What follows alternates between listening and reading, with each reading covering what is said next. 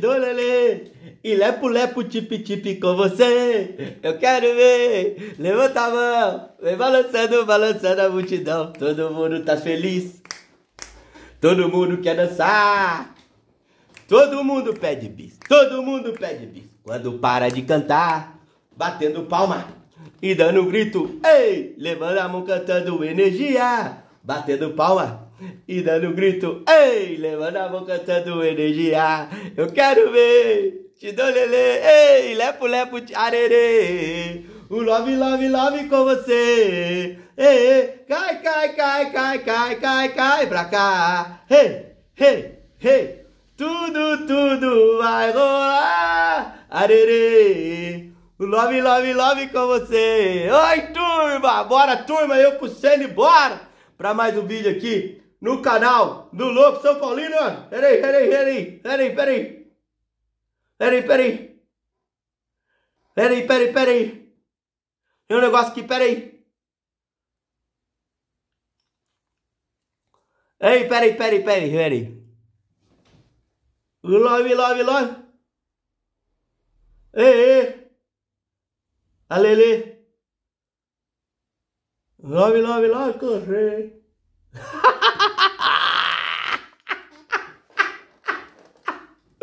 Bora, turma, falar que eu vou falar pra você, mano. Cara, é triste, velho. Vou falar pra você. O rumo que São Paulo e Corinthians estão tomando. Os, os conselhos, conselheiros vagabundos dos dois clubes estão acabando com São Paulo e Corinthians. Inacreditável. Como o conselho do Palmeiras também era assim. Só que o Palmeiras e Flamengo também era assim. Só que Palmeiras e Flamengo, Deus olhou, olhou para os dois e falou: botou pessoas que gostam do clube. No Palmeiras, o Paulo Nobre e no Flamengo, o Bandeira de Melo. E arrumou o clube. Que Palmeiras e Flamengo também era desse jeito, igual a São Paulo e Corinthians. Que Deus, que alguém tenha fé, São Paulino e Corintiano, que possa colocar pessoas lá que gostam realmente do clube. Porque o conselho do São Paulo e o conselho do Corinthians só quer o mal do clube só quer o mal dos clubes. Corinthians, agora os conselheiros do Corinthians aí agora vão pedir o impeachment do presidente Augusto Melo. Inacreditável, agora o Corinthians vão pedir o impeachment, o cara tá tentando arrumar o clube. Estão querendo tirar o CEO lá do clube, Fred Luiz. E no São Paulo, um depoimento fortíssimo do Dani Campos, lá do Resenha Tricolor. Ele foi sócio do São Paulo durante 10, quase 10 anos, sócio lá do Clube Social. E ele falou como é a política do São Paulo, é nojenta. Ele falou que dá nojo, mano. Vou mostrar pra vocês isso agora, o depoimento dele, fortíssimo. Se inscreve, ativa o sininho, tá com o dedão no like. Compartilha o vídeo com todo mundo. Deixe seu gostosinho, que é muito importante pro crescimento do canal. Eu tenho falado aqui faz tempo que a política de São Paulo e Corinthians destruiu os dois clubes. Se os conselheiros aí acabaram com São Paulo e Corinthians, cara. Acabaram. E eles não querem ver a melhora do clube. Quando o clube começa a dar. O São Paulo há 20 anos tem a mesma turma. O São Paulo não tem oposição. Há 20 anos é o mesmo pessoal que toma conta do São Paulo. E vai continuar durante uns 10 anos aí, cara. O próximo presidente de São Paulo, depois do, do Casares sair daqui dois anos, o próximo presidente de São Paulo é da turma do Casares. Do, o Casares é da turma do Leco, do Aidar, do Juvenal, do Marcelo Portugal Gouveia, que ainda era bom lá, tá certo? segundo mandato do Juvenal ainda foi bom. O terceiro acabou com o clube. Aí Aidar saiu por corrupção. O Leco, o pior presidente da história, fudeu tudo o clube. Aí agora o Casares é o menos pior. O Casares é o menos pior, mas ele aumentou a dívida. Vamos ver aí o que, que acontece, né? Ele agora, vamos ver. Esse fair play financeiro que o São Paulo preparou para fazer o ano que vem. Se não der certo, irmão, aí já era. Aí tem que virar SAF. Se esse fair play financeiro que o São Paulo vai começar a fazer o ano que vem para sanar as dívidas do clube. Se isso aí não der certo, aí, fi, aí tem que virar SAF, mandar esses conselheiros vagabundo, tudo pra puta que pariu, esses caras que querem o mal do clube. Dá uma ligada no depoimento fortíssimo de Dani Campos. Ele é lá do Resenha Tricolor, sabe? Do programa Resenha Tricolor, lá do Caio Resenha e tudo mais, do Junks. É três, top demais do programa dele. Olha esse depoimento forte que ele falou, como que é a política dentro do São Paulo, ó. O meu diagnóstico é, quanto mais eu conheço o São Paulo por dentro, menos mais fé eu longe. tenho. É, mais, mais distante eu quero estar do São Paulo. Né? Eu, eu, repulsa ao social do São Paulo. Eu tenho uma promessa de nunca mais pisar naquele lugar na vida. É um lugar que eu não quero entrar nunca mais. E, e quanto mais eu conheci o São Paulo, menos eu quis estar lá. Eu, eu fui muito feliz no dia que eu comprei o título e fui dez vezes mais feliz no dia que eu vendi o título por um terço do que eu paguei. Então, assim, falar que eu tenho alguma fé na política do São Paulo é mentir. Eu não tenho nenhuma. Eu olho para aquilo lá, eu acho. Situação e oposição. Para mim não tem oposição. De não fato, tem. tem o Fábio, tem o Christian, que, que mas é, é, eles não, não têm força de grupo suficiente para ser uma oposição. Mas é isso, é essa imagem que eu tenho, sabe? Ah, o Casares é é, eu acho Casares horroroso e vão vir outros dois horrorosos como opção, depois vão vir outros dois horrorosos, são os mesmos caras há 20 anos, sabe? É o mesmo grupo, é o mesmo grupo que pensa do mesmo jeito. Puta, quando me contaram do Morumbis, eu falei, cara, não é possível que uma empresa séria como a Mondelez está pondo dinheiro no São Paulo nesse nível. Se, se você me perguntar, a SAF poderia ser um caminho desde que comprasse e assumisse o poder. Coisa que eu acho que nunca vai acontecer no São Paulo, porque a pauta do São Paulo não é o São Paulo, a pauta do São Paulo é poder. A pauta do São Paulo não é o São Paulo, a pauta é o poder. Eles querem o poder. Só vai ter um jeito realmente, porque eles, os conselheiros do clube, não vão deixar nunca o São Paulo virar SAF. O presidente Casares já falou isso. Só vai, o São Paulo só um dia vai virar SAF se ele estiver totalmente no fundo do poço e a torcida, a torcida organizada, tudo vê que não tem mais condições. Aí eles tiram aquele conselheiro na marra de lá e tomam o clube. É isso, único jeito. E agora a gente, eu tenho esperança desse fair play financeiro der certo. Mas tá aí, ó. Essa é a política de São Paulo. A política de São Paulo é podre, irmão. O próximo presidente de São Paulo vai ser o Belmonte. Vai ser aquele Ontem Aires de Abreu lá, o presidente do conselho. É tudo da mesma laia do presidente Casares. Belmonte pode ser presidente de São Paulo no próximo mandato. O Casares é o menos pior. Ele falou que ele acha o Casares horroroso. Eu acho o menos pior. Tá certo? É isso. O Conselho de São Paulo, São Paulo é o clube mais antidemocrático do Brasil, velho. Os sócios definem os conselheiros e os conselheiros definem o presidente. O sócio do clube social. A torcida não manda nada. A torcida de São Paulo não manda nada. É, são 300 e tantos conselheiros definem o futuro de um time que tem uma torcida de quase 30 milhões de torcedores, de 20 milhões de torcedores, exagerei aqui, de 20 milhões de torcedores. Tá certo? Então, é isso. O São Paulo é dominado pelos sócios. Você viu essa frase que ele falou no final? Eles não querem o bem do São Paulo, eles querem o poder do São Paulo. Eles querem o poder. Porque quando chega alguém lá com boa intenção, eles dão um jeito de tirar, irmão. Quando chega alguém lá, um empresário com boa intenção. O Abílio Diniz tem informação que o Abílio Diniz já, já teve a oportunidade de injetar dinheiro no São Paulo, dele querer investir no São Paulo, só que ele falou que ele queria ter autonomia no futebol, os conselheiros não deixou. Não, você quer mandar, você quer investir aqui, investe, mas sem falar, dar pitaco, aí não tem jeito, né, mano? Pô, pelo amor de Deus. No Corinthians a mesma coisa. O presidente do Corinthians agora tá sofrendo impeachment. Pode estar tá sofrendo impeachment, tá certo, mano? Pode estar tá sofrendo impeachment. Sony vai explicando no Corinthians a mesma coisa. O pessoal, os conselheiros do Corinthians, tá pedindo o afastamento do CEO do clube. O CEO do clube, o Fred Luiz, que quer arrumar a casa no Corinthians, o cara quer arrumar a casa, quer botar as contas em dia tudo, mas os conselheiros não querem ver o bem do Corinthians. O tal de Romeu Tuma Júnior, presidente do conselho, e agora eles vão pedir agora dia 28, quinta-feira, vai a votação, o presidente Augusto Melo pode ser afastado do cargo por impeachment. Inacreditável, mano. O Corinthians bem agora e os caras metem essa. Os caras querem ver o mal do Corinthians, acabou. Inacreditável, cara. Galera, tudo bem? Votação pelo impeachment de Augusto Melo. É isso mesmo, hein?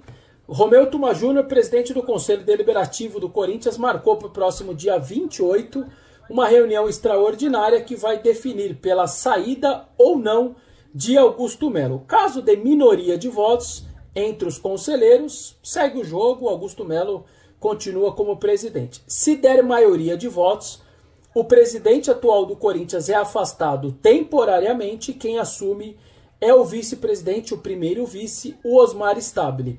E aí o Romeu Tuma Júnior vai convocar uma Assembleia Geral. E aí caberá aos sócios do Corinthians decidir o, pelo impeachment ou não de Augusto Melo. Então vamos ter que aguardar, ainda não tem uma data aí para essa Assembleia Geral, mas é isso. E todo esse processo de impeachment, claro, tem base no caso Vai de Bet, aquele ex-patrocinador do Corinthians que ainda está sob toda uma investigação da Polícia Civil, não tem definição, não tem indiciados, não tem nada na polícia, porém o rito todo processual interno do Parque São Jorge correu nesse tempo todo e aí teremos essa primeira decisão com os, os conselheiros, passando pelo conselho, tá aí quem definirá é os sócios do clube. Pera aí que eu vou mijar, pera aí que eu vou mijar. Pronto. Inacreditável. São Paulo e Corinthians, é por isso que São Paulo e Corinthians tá assim, cara. Por isso que cada ano que a gente vai ver mais o Palmeiras ganhar campeonato. Vai ter eleição no Palmeiras domingo. E se a Leila não ganhar, vai ganhar um cara que é da turma do Mustafa. Daí a gente tem uma chance do Palmeiras voltar aquela bagunça que ele era antes. Palmeiras era pior que São Paulo e Corinthians. Palmeiras era muito pior. Só que teve um cara que ama o Palmeiras, que quis o bem do Palmeiras, que é o Paulo Nobre. O Paulo Nobre salvou o Palmeiras. Tá certo? É o que tem que acontecer com São Paulo e Corinthians. Chegar alguém lá que queira salvar o clube. Desses vagabundos. Tá certo? Da mão desses pilantras vagabundos. Que é os conselheiros de São Paulo e Corinthians. Olha lá. O Bessone voltou a falar aqui sobre o processo de impeachment que o presidente Augusto Melo está sofrendo. Fala galera, tudo bem? Os conselheiros do Corinthians estão numa sinuca de bico enorme, tudo por conta aí dessa votação colocada por Romeu Tuma Júnior, presidente do Conselho Deliberativo, para o próximo dia 28. Por quê? Levando em consideração o que temos agora, ou seja, não tem nada ainda vindo da Polícia Civil. Se os conselheiros optarem, optarem pela saída do Augusto Melo e a polícia depois simplesmente não trazer nada de novidade, não colocá-lo em nenhum problema maior, os conselheiros terão feito uma injustiça. Porém, se os conselheiros simplesmente disserem que não, que não tem que sair do cargo, que está tudo bem, e posteriormente a Polícia Civil trouxer um problema maior um problema grave envolvendo o presidente Augusto Melo, também os conselheiros estarão sendo errados na história. Ou seja, eles estão numa verdadeira sinuca de bico. Dependendo do que eles atuarem, dependendo do que for a votação e o que vier de contrário lá na Polícia Civil, vai ficar uma situação bem complicada e fica feio para eles. Então, de alguma maneira, a decisão do Romeu Tuma Júnior de colocar já para o dia 28, sem que não tivesse vindo nada da Polícia Civil, deixa eles numa sinuca de bico tremenda do que fazer no próximo dia 28. Você concorda comigo tá ou não? louco, né, mano? Inacreditável, cara. Putz, tá destruindo os dois clubes e são iguais. E outra, São Paulo e Corinthians tem o potencial de serem. Os dois são uma potência de marca. O Corinthians é, o para mim o Corinthians é o time mais midiático do Brasil, junto com o Flamengo. Depois, o São Paulo, para mim, tem potencial para para bater de frente com o Palmeiras. O Corinthians, no Corinthians é cada um bilhão. O São Paulo também. São Paulo tem oportunidade. São Paulo e Corinthians tinha tudo para comandar o Brasil junto com Flamengo e Palmeiras. Mas os conselheiros não deixam. Por isso que Palmeiras e Flamengo nada de braçado. Palmeirense e flamenguista tem que agradecer a Deus sempre de terem dois caras que salvou os clubes. Um do lado do Palmeiras, Paulo Nobre, e o Flamengo, o Eduardo Bandeira de Melo. E coincidência ou não, os dois vão ter eleição agora, né? Tanto o Flamengo quanto o Palmeiras. Né? Então, e, e, como é que pode, né? O São Paulo e Corinthians estão nas mãos de conselheiros vagabundos. O Corinthians agora, os caras querem tirar o CEO do clube que tá ajudando a salvar o Corinthians, ajudando a reerguer o Corinthians, tudo. Os caras querem tirar o CEO de lá.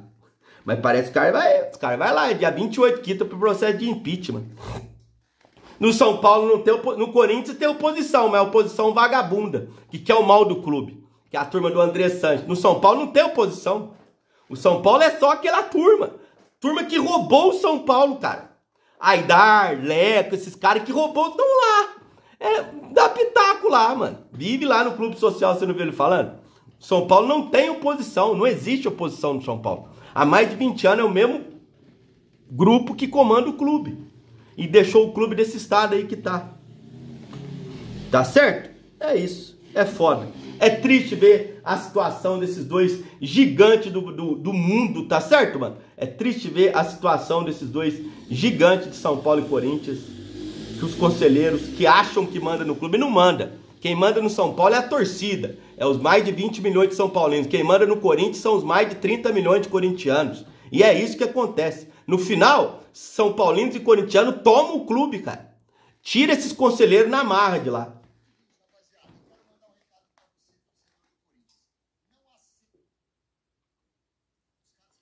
É porque é, é, esse, esse, esse, um esse vídeo é muito grande, mas ó, dá uma ligada. Rapaziada, eu quero mandar um recado para você, torcedor do Corinthians.